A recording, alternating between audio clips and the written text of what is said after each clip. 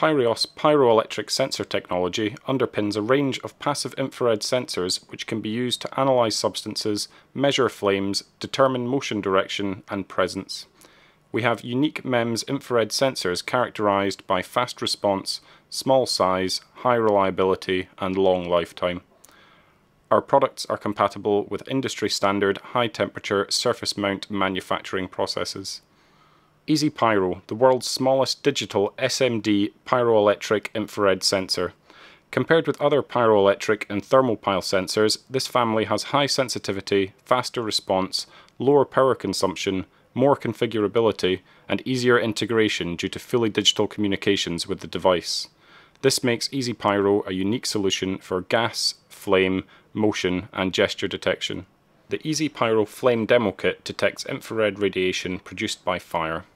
However, to avoid false alarms, it is desirable that other sources of infrared radiation, such as human motion and sunlight, are rejected. On the Flame Demo Kit, there are four ezPyro sensors sampling the signal in perfect sync thanks to the daisy chaining capability. They are situated under a protective window and there is a microcontroller board underneath. On the Flame Demo Kit, there are two rejection channels. Channel 1 shows the human motion effects, and channel 2 shows a sensor's output that is sensitive to a halogen bulb that we are using to simulate sunlight. Using a lighter with a 2 cm high flame, roughly 1.5 metres away from the demonstration kit, broadly relates to a 35 metre detection range and a 1 metre high flame. Here is the lighter and you can see that when the flame ignites, a large signal is captured by the two flame sensors. Unlike most infrared flame sensors, the ezPyro device responds continually to the natural flicker frequency of the flame. There are two flame sensors on the demo kit. The main flame sensor is most sensitive at the centre of the field of view of the system. To increase the sensitivity of the overall field of view to greater than 90 degrees, we use a secondary device characterised by a response profile that is more sensitive at the extremes of the field of view.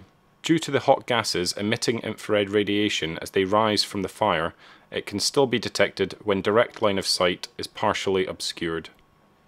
The configurability of the ezPyro sensors goes far beyond what we've been able to discuss in this short video. Every application of our sensors is different, and with the wide range of features that can be configured within the same ezPyro sensor, it can be adapted to suit any of your mid-infrared sensing requirements. For further questions on ezPyro or any of our other products, please get in touch.